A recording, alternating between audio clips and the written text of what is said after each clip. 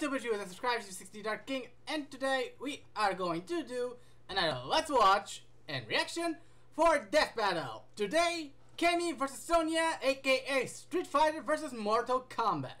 And it's about damn time.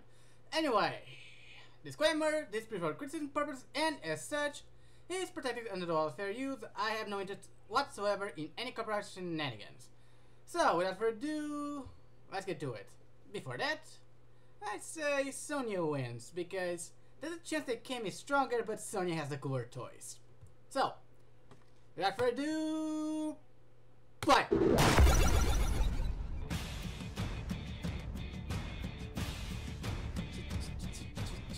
Mystical ninjas, evil sorcerers, gods. Tournaments these days seem to attract all sorts, don't they? And yet there's always a few seemingly ordinary people brave enough, or stupid enough, to step into the ring.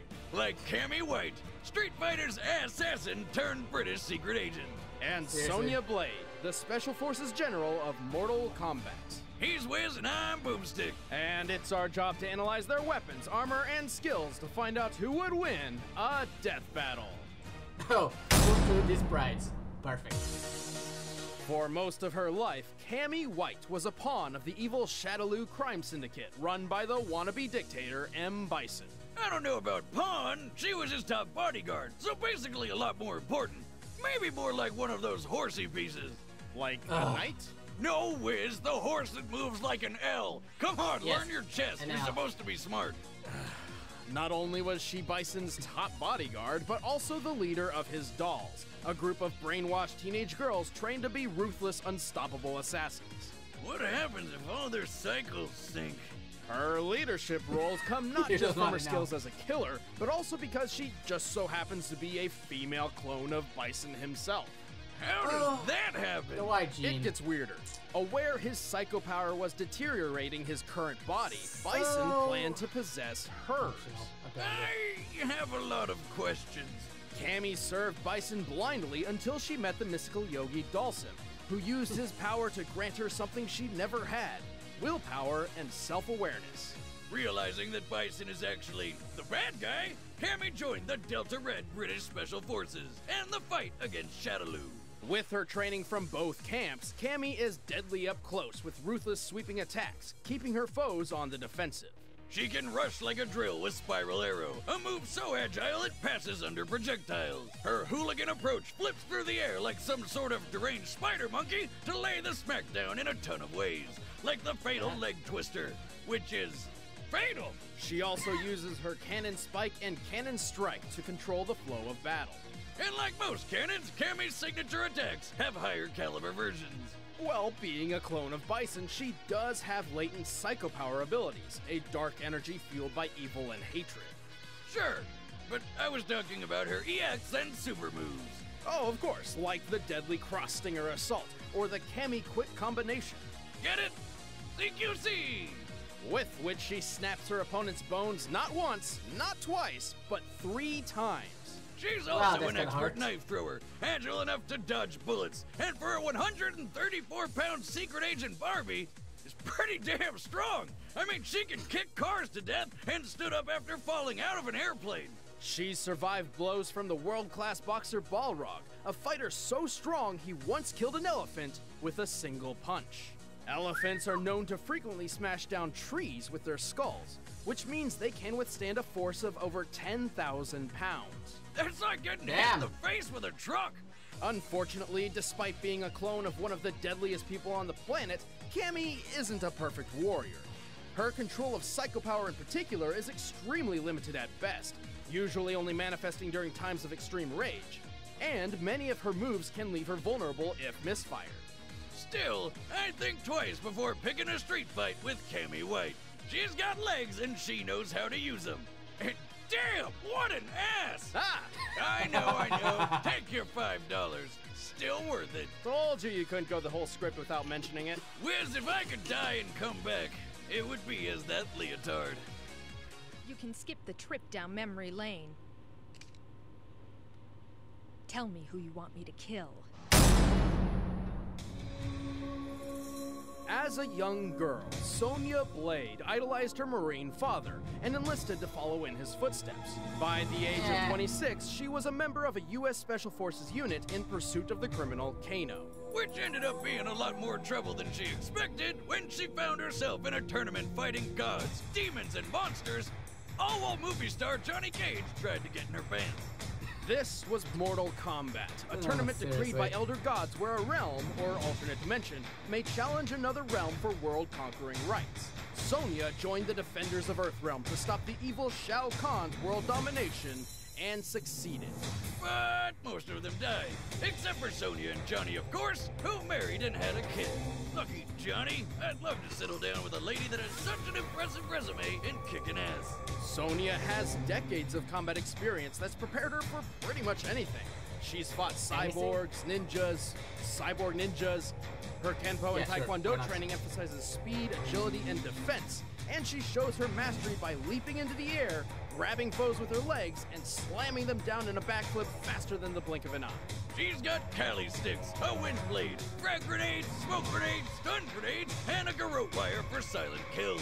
But my favorite is her high-tech bracelet, which lets her hover in the air Oh, and the shoots lasers. It even controls a remote drone, complete with a You cutting gotta beam, perfect toys. camouflaging systems, machine guns, even RPGs.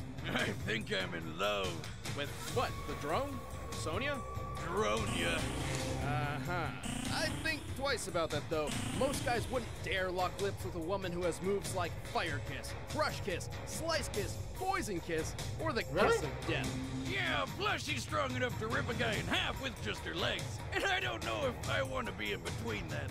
In the early 1800s, it was common practice to tie criminals between horses, which pulled them apart. Except even four horses playing tug of war don't often have the strength to rip people in half. Yet Sonya can do so with ease. Impressive. Almost as impressive as karate chopping a steel anvil in half. It's as ridiculous as it looks. Assuming the anvil is made of common steel, it would take over 90,000 pounds per square inch of force to break. To compare, that's totally 1969 enough. boxing champion Earnie Shavers delivered the strongest punch in boxing history at 1600 psi. Meaning, Sonya's punch has over 56 times more power than the hardest hitting boxer ever known. No wonder she was strong enough to take down Scorpion, Sub-Zero, Jax, and even Quan Chi, ruler of the Netherrealm, back to back. Of course, throughout decades of military experience, she has made plenty of mistakes. Her short fuse has gotten herself and her troops in trouble more than once. And while her tech and weaponry lets her keep up with otherworldly warriors, a smart opponent can use her over reliance on gadgets against her. Still, something pretty special about a lady who can rip a guy in half without breaking a sweat. We need a strategic plan of attack. I got one! Combat time! Yeah, we got a plan. All right, the Attack. combatants are set. Let's end this debate once and for all. It's time for a death battle! Well, I may think Sonya wins. Let's see if I'm right.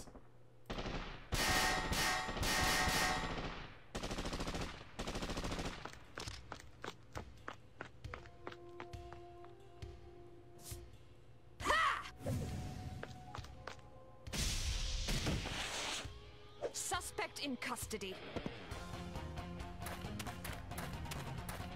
Who are you? You, Damn. amateur. What organization do you work for? Let's call it enhanced training. Get in my way and pay the price. Spoiler alert, you lose. From my foot to your ass. Spiral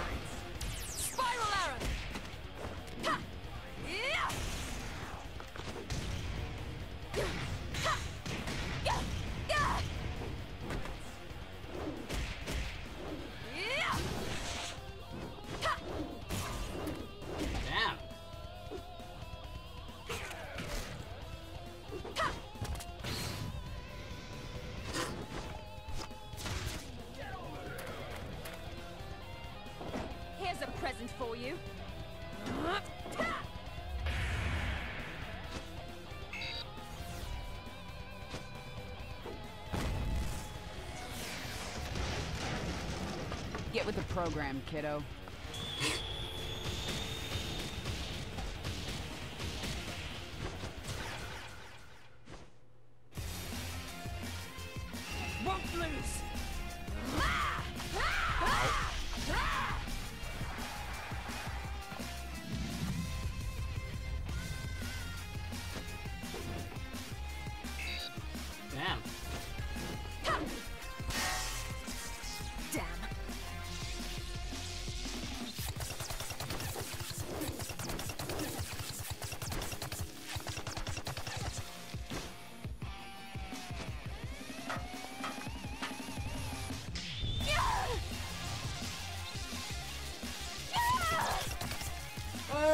Toys. You gotta love the toys.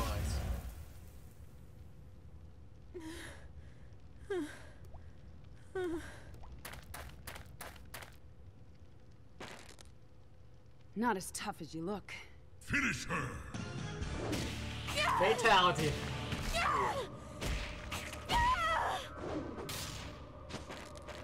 I've got this son of a bitch. Always gotta be the hard way. KO! Fatality! Cammy might have had an edge in speed and agility, but Sonya's far superior strength, arsenal, tactics, and experience overwhelmed her. Sonya's fought opponents who have led Uh, give armies second. and conquered worlds, and taken them on back to back. Sure, Cammy's done the same, think it's on- just no, never against neither. quite such an impressive lineup. Sonya has about 10 years worth of military experience over Cammy, and it's not like she was pushing papers all that time. When she wasn't chasing down war criminals on her own, she was a longtime leader against multiple interdimensional invasions. Cammy did a lot with Delta Red, but nothing which stacks up to Sonya's resume. And hey, Indeed. Cammy's durability of an elephant is impressive. But you know what's tougher than that? Solid steel.